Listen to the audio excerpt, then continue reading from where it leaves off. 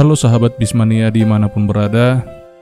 Kali ini saya telah merangkum sejarah bus legendaris yang merupakan cikal bakal berbagai merek bus legendaris yang ada di Sumatera Utara. Inilah sejarah perusahaan otobus PMG yang saya ketahui. Kurang lebihnya informasi ini mohon dikoreksi atau ditambahi di kolom komentar ya teman-teman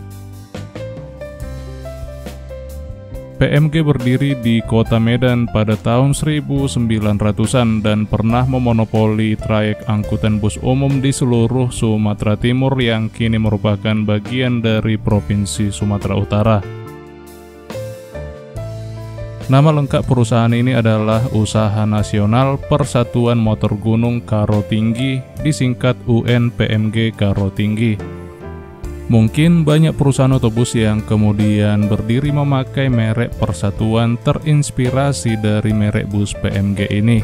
Sebut saja PAS Persatuan Motor Sidikalang, PMS Persatuan Motor Serbelawan, Permosi Persatuan Motor Simalungun, PMH Persatuan Motor Horas, dan lain-lain.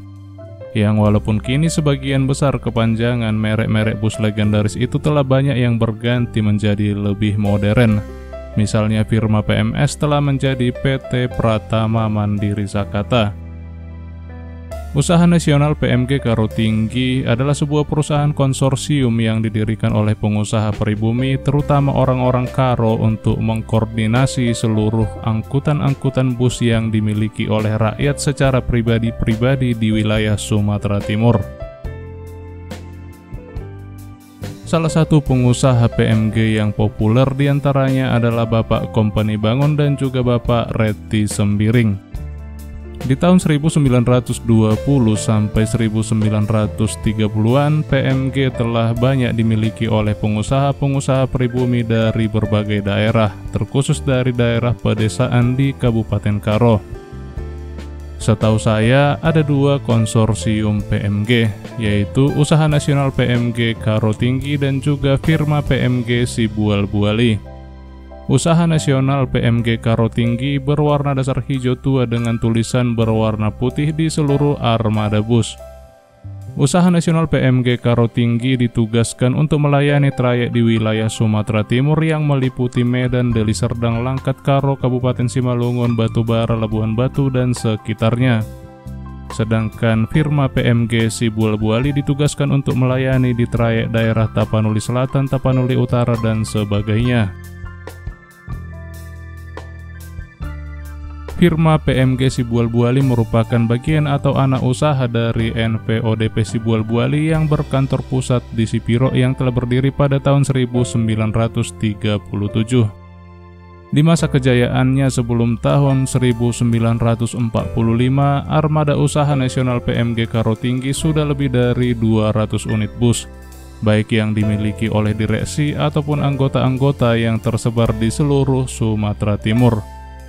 Sedangkan armada firma PMG Sibual Buali juga sudah mencapai puluhan unit bus yang berpusat di wilayah Tapanuli Selatan dan sekitarnya. Pasca Indonesia Merdeka, Konsorsium Usaha Nasional PMG Karo Tinggi dibubarkan oleh pemerintah Republik Indonesia karena dianggap melakukan praktek monopoli transportasi bus umum di wilayah ex negara Sumatera Timur. Sedangkan firma PMG Sibual Buali tetap lanjut sampai perusahaan di merger atau disatukan kembali ke ODP Sibual Buali yang sudah berdiri sejak tahun 1937. Selanjutnya, akibat pembubaran usaha nasional PMG Karo Tinggi yang sempat berjaya di wilayah ex Sumatera Timur, beberapa pengusaha ex PMG kemudian mendirikan berbagai merek bus legendaris Sumatera Utara seperti PO Sinabung Jaya, PT Saudaranta, PT Nasional, PT Sumatera Transport, PT Mars Persada, PT Selamat Jalan, PO Sebayang, PO Liberty, dan masih banyak lagi yang lainnya. Sebagian masih ada yang eksis, tapi sebagian besar sudah banyak yang gulung tikar dan telah menjadi sebuah catatan sejarah saja. Demikianlah bus usaha nasional PMG Karo Tinggi yang saya ketahui teman-teman. Semoga buat teman-teman yang sudah merequest sejarah bus PMG ini berkenan.